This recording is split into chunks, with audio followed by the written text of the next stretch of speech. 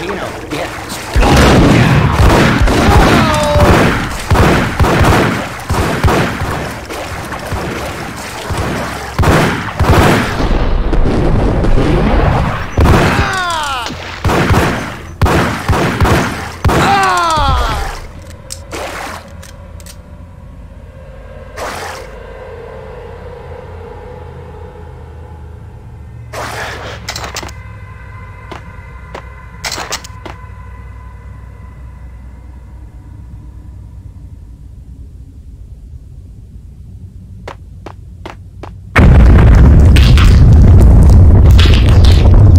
What the hell was that? All done here. Give me the detonator. What are you Gun him down! Ah! Whack the sucker! What the hell?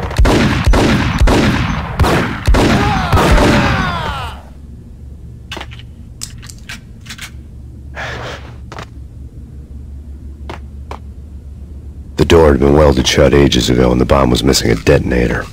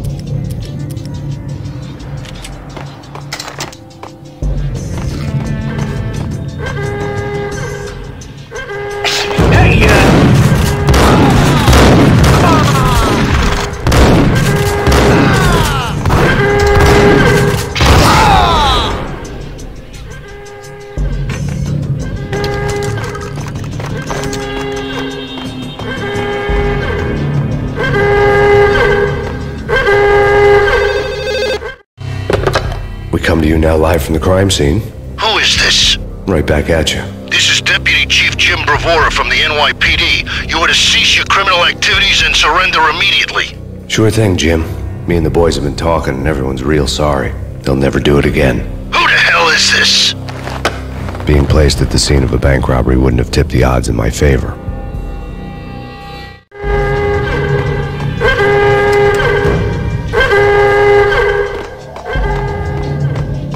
The bank robber's score lay on the table.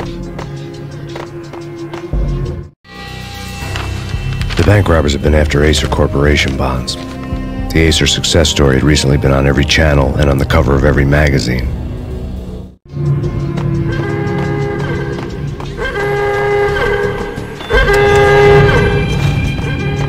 The bank robbers had left their tools on the table.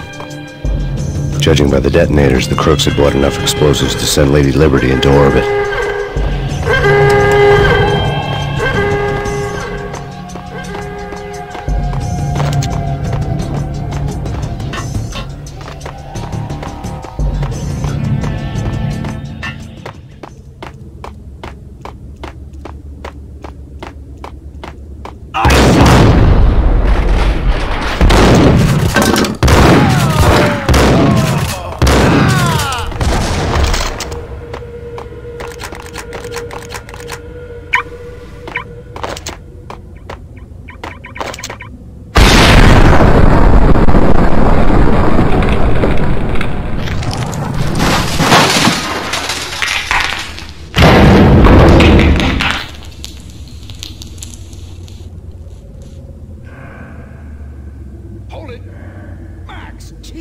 Almost gave me a heart attack. I nearly shot you. Alex, I'm glad to see you. What the hell's going on? There are more corpses here than at the city morgue. It's an armed robbery, a tunnel job straight to the Roscoe Bank vault through the old station. This is Lupino's gig?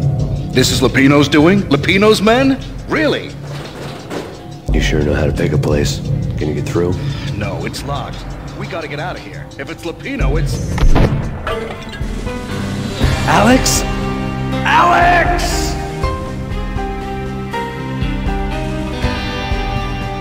There was nothing I could do. He was dead. I could tell by the empty, accusing stare of his eyes.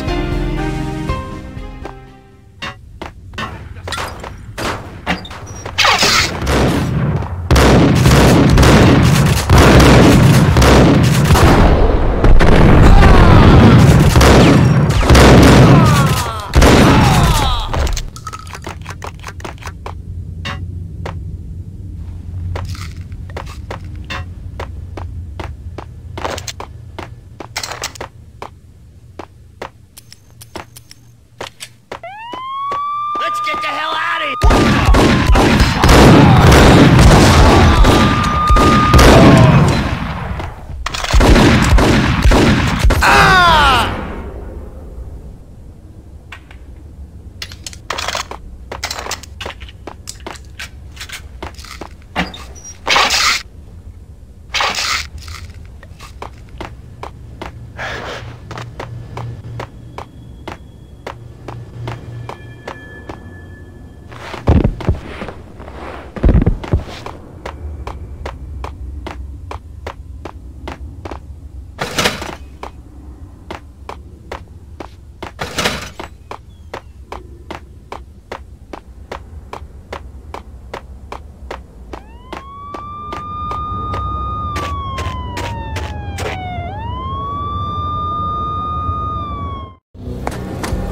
Alex had kept me relatively sane for the past three years.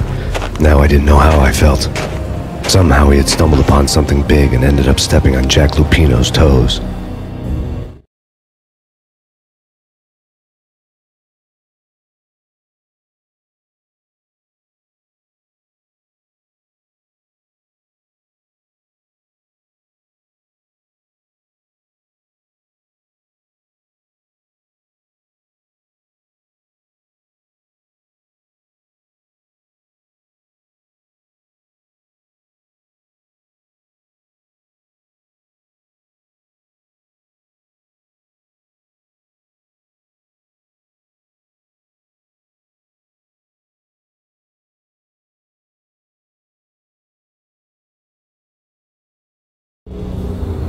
Lupino ran his racket of sex, drugs, and contract killings from a sleazy hotel in a slum block of tenements. The NYPD was closing in. I could hear the sirens. Their wail was a crescendo. Lupino thought he could get us by taking Alex out and leaving me to take the fall for it. All he had gotten was my attention.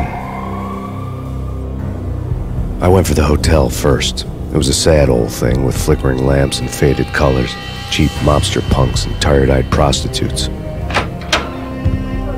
I walked straight in, playing at Bogart, like I'd done a hundred times before. The place was run by a couple of murdering mobsters with shark smiles. The Finito brothers. Ladies and gentlemen, it's the pain in the butt. Pain to the max. You're killing me. Did you make that up yourselves or you get some wino downstairs to come up with it? Don't answer that. A rhetorical question. I got something for the boss. Lupino around? That kind of depends on who's asking. A friend or a junk squad plan. The don't answer. It's one of them, uh, how do you put it, uh, rhetorical questions. Lupino ain't here, but he says bye. Lupino wasn't in his cheap hotel. Instead, I ran into the Finito brothers. My cover had been blown. The door slammed shut behind me. And then I was dodging bullets like raindrops.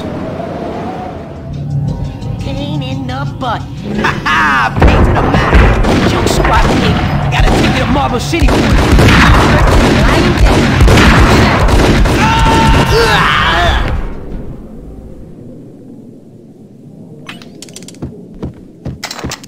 A letter on the desk caught my eye.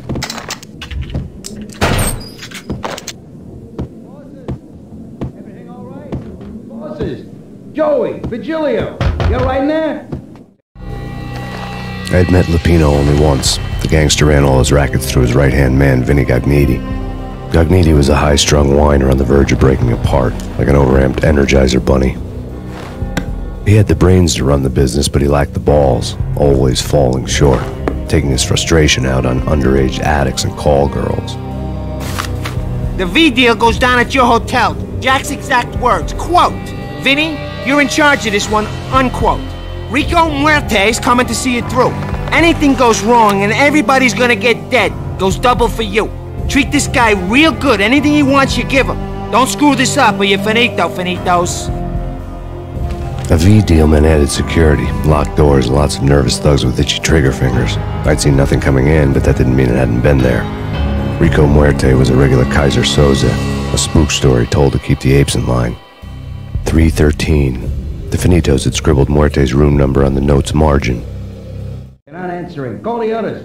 Tell them to come quick. Okay, but we can't wait for them. We gotta go in now. Bosses, we're coming in.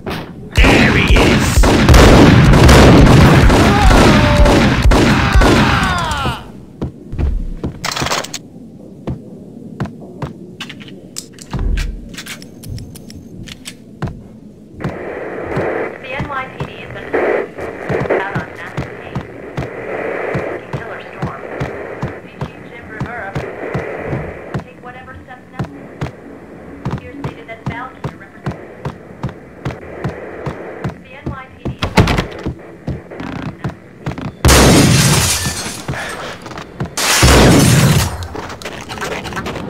Yeah, something's wrong with the bosses. Payne's there and they're not.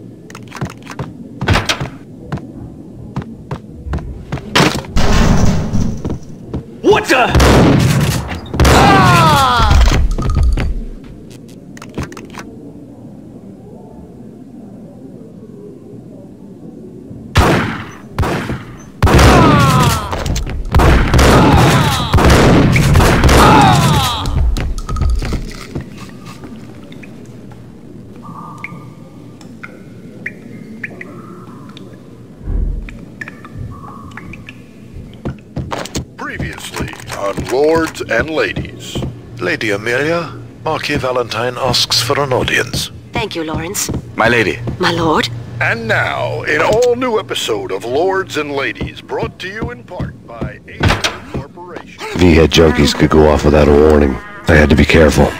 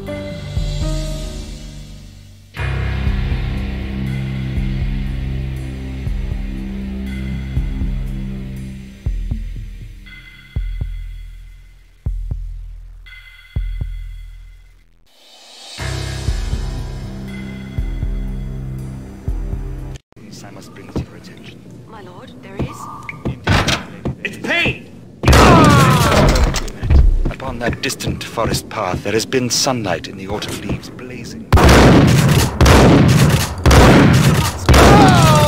I must, I must. My lord, no! I forbid you. This cannot be. This must not be. My lord, it is too dreadful. Do not force me to speak the words. My lady, I beg of you, I must know. I would rather die than not know. Yes, my lord, we should burn. Shame is too great for the living. My lord, I am. Piece of crap! Get off!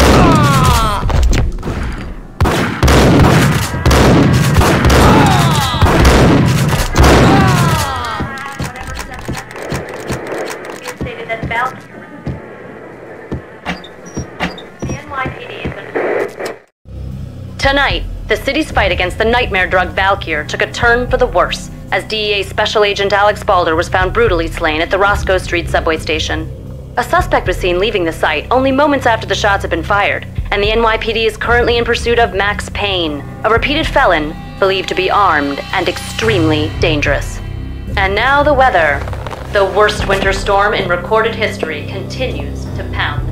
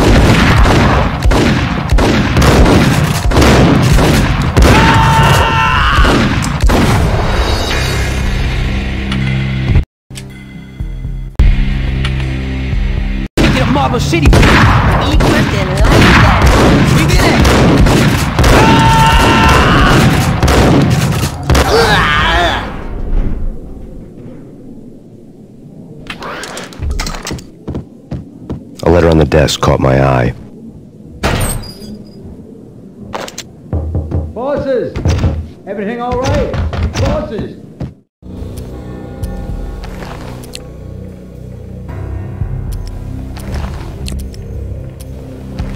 I had met Lupino.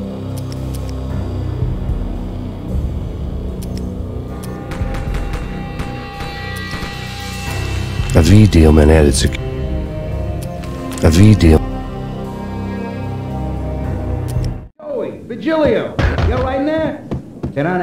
Call the others.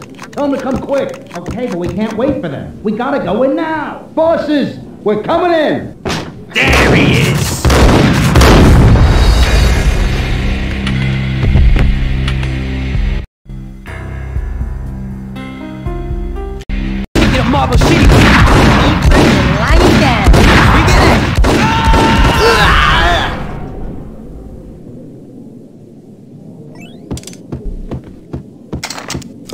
Desk caught my eye. Bosses! Everything all right? Bosses! Joey, Vigilio, you right in there? They're not answering. Call the others. Tell them to come quick. Okay, but we can't wait for them. We gotta go in now. Bosses, we're coming in.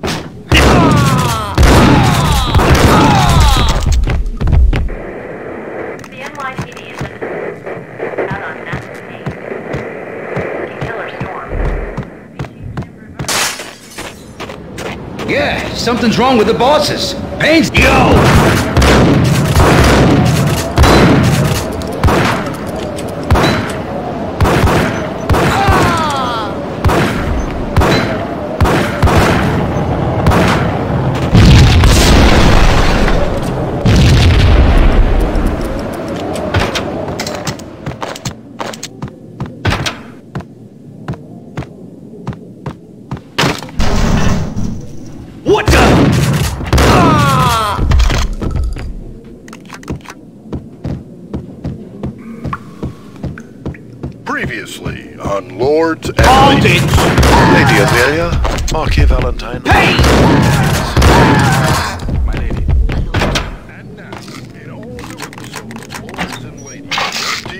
V-head junkies could go off without a warning. I had to be careful.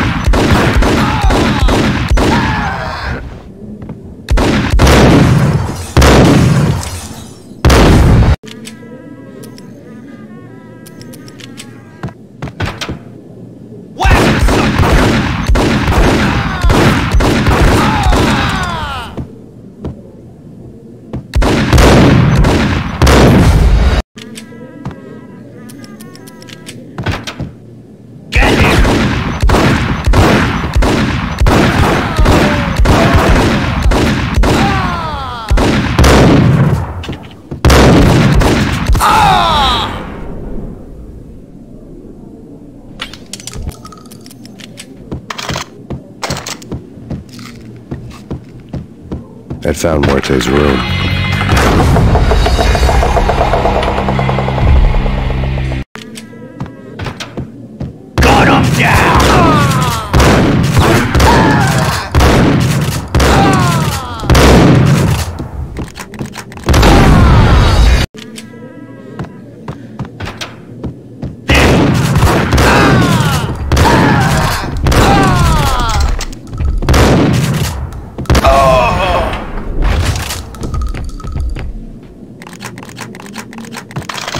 Found Muerte's room.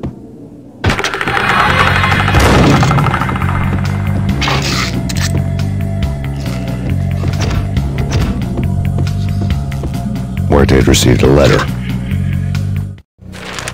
Our investigation had turned up nothing to link Angelo Punchinello, the head of the Punchinello family, to Valkyr. All tracks had ended with Jack Lupino. The letter in Muerte's room was signed by the Don himself. Was the first hint that the Kingpin knew what was brewing inside his syndicate. The trouble you got into after the Chicago screw-up. The Punchinello family bailed you out. You have been waiting for a chance to pay us back. One of our trusted boys has a monkey the size of King Kong on his back. And we need your special skills for backup on a major deal. Collecting evidence had gotten old a few hundred bullets back. I was already so far past the point of no return I couldn't even remember what it looked like when I had passed it.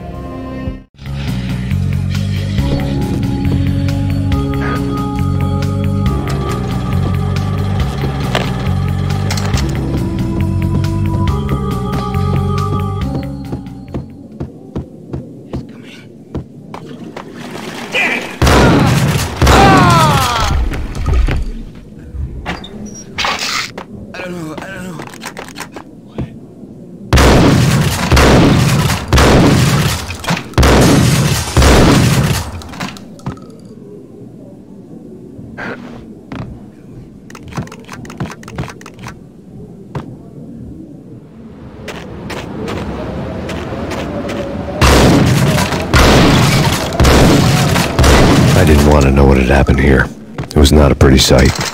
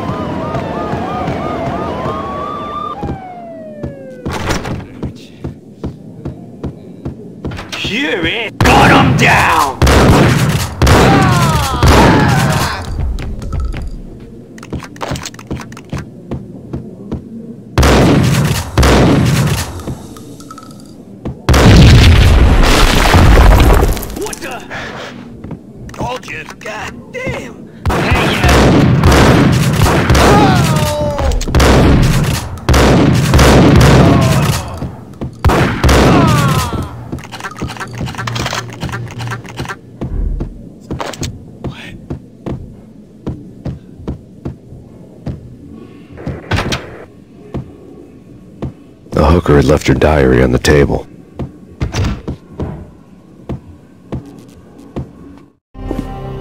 The diary belonged to a hooker named Candy Dawn. The read would have made a vice cop blush. Had talks with the mystery hag over the phone again. Sent her the latest one-eyed Alfred tape. As long as the hag keeps paying for the tapes, the old man could come every day for all I care. She had a nice sideline, making secret X-rated flicks of her clients and selling them to the highest bidder. They would get her killed if her V-fix for the day didn't do it first.